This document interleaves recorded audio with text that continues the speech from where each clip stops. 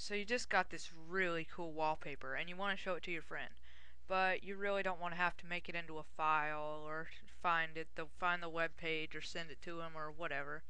Well there's you may know about this and you may have seen this key before and not known what it was. The key is print screen and it's somewhere on your keyboard and this little key allows you to take a screenshot of your desktop. And it's really simple. All you have to do is press the print screen key once you may not see if anything happens, nothing may have appeared to happen, but then you go to Start, and then Paint or your favorite photo, photo editing program, if I can get that out. Paint. I just use Paint because it's simple. You can use Paint.net, Photoshop, any of those.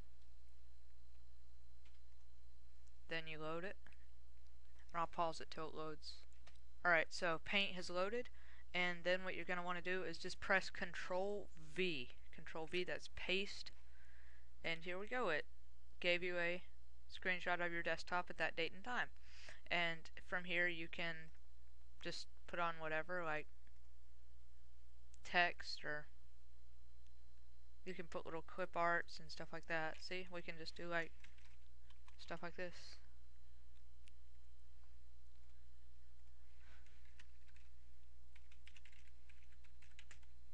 See?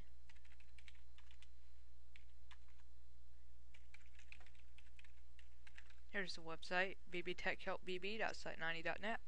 And once you have that, then you can just save it as an image file, or a JPEG, or a GIMP, or not GIMP, GIMP's a program, the uh, BMP, or GIF, that's what I was getting at, GIF.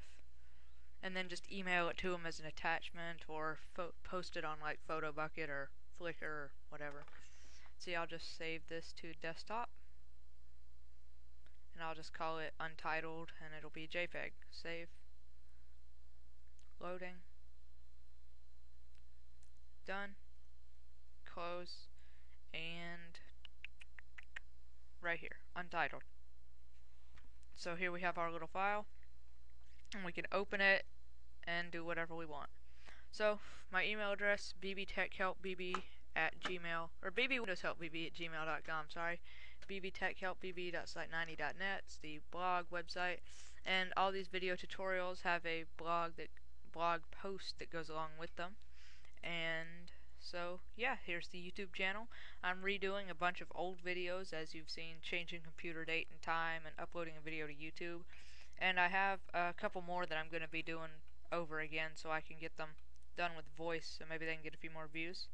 So, that's pretty much it. Thanks for watching. Be sure to check out the video, check out the blog, subscribe, favorite, and all that great stuff. Thanks. See ya.